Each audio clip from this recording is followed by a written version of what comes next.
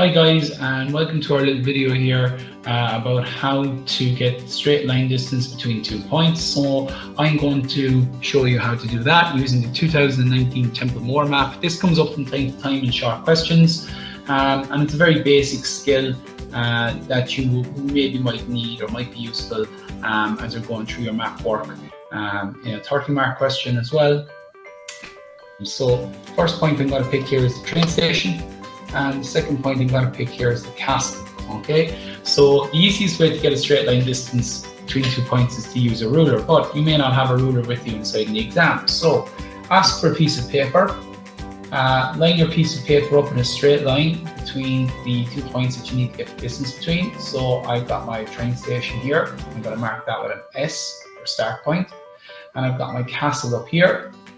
I'm going to mark that as an F to show it my finish point.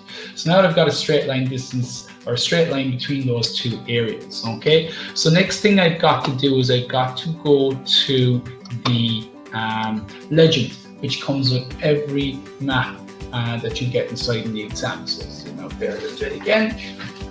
I'm using our map book here. So this here would be the legend that comes with uh, every map uh, that you'd have inside in the leaving cert.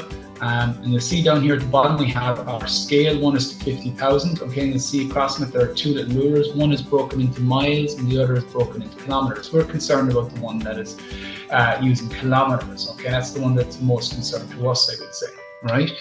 Because uh, generally they'll ask for the, the, distance in kilometers, okay? So what I've got to do is I go to my little ruler, I, I get my piece of paper, uh, I start at zero, marked my, my start point and I hold it up against the little, little broken up ruler here and I'm going to mark off to the nearest whole kilometer. So I can see that that's one kilometer, two kilometers, and I can see that there's a little bit left over. Okay, so I know it's at least two kilometers straight line distance between the train station and the castle. So what I've got to do next for that area that's not, uh, I suppose, fully making up a, another kilometer. So I bring it to my little broken up uh, ruler here, just beyond my, my zero to the left of it.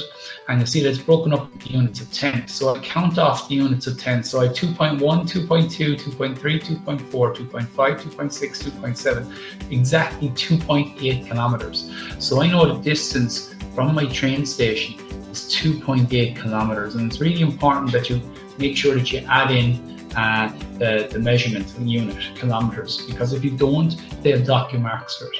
But that's a very simple way of, of getting your straight line distance. If ever there's a case whereby your little units here uh, maybe fall between two, two, uh, two broken up parts, well then, you know, go to the nearest whole number. Um, usually there's some sort of discrepancy, 2.7, 2.9 would probably be acceptable as well and pick up some marks inside an exam. But that's our basic little skill on how to get a straight line distance uh, between two points.